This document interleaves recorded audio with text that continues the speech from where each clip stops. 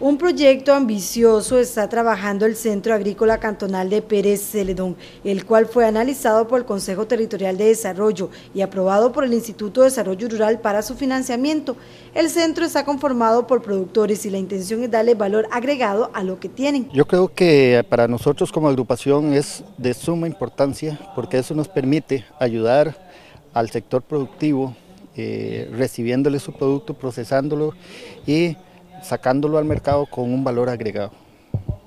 Creo que eso es lo más importante porque eh, parte del problema que tiene el sector productivo es que eh, ellos son muy buenos productores, pero la parte de comercialización se les hace muy difícil. Para ello trabajan en dos campos, los productos cocinados y otros congelados en frutas.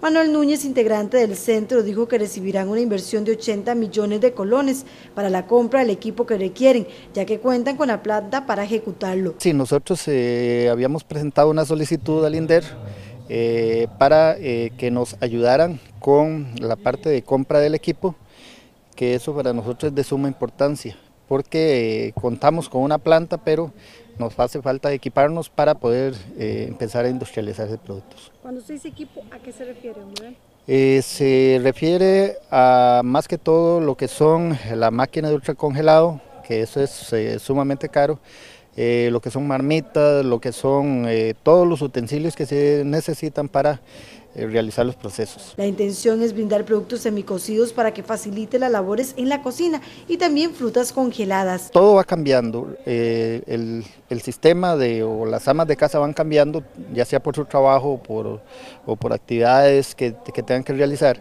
y ellas necesitan un poco de colaboración de parte de los que distribuimos los productos con el fin de minimizar el tiempo que ellas necesitan para eh, procesar su comida.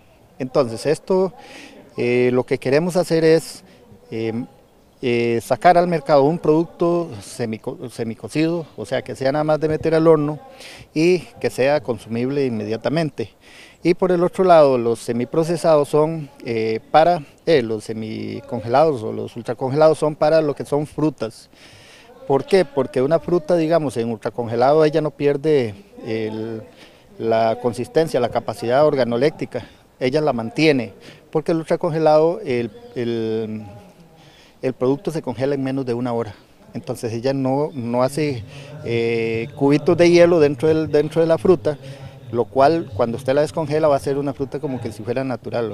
Los patacones serían productos semicocidos que sacarían al mercado y también ensaladas de frutas. En productos eh, ultracongelados nosotros queremos sacar lo que son frutas, lo que son eh, ensaladas de, digamos, unas mezclas o ensaladas de frutas y lo que son eh, cocidos, queremos sacar patacones. Hay un, un producto que se puede sacar realmente de del, cocido que son los eh, tipos eh, digamos, llamémoslo así, pero en, eh, en camote, en yuca, simple y sencillamente se le agregan sabores naturales a frutas y esos son productos que los puede comer desde un niño hasta un adulto, cualquier persona los podría consumir. Este proyecto esperan ejecutarlo en el 2019.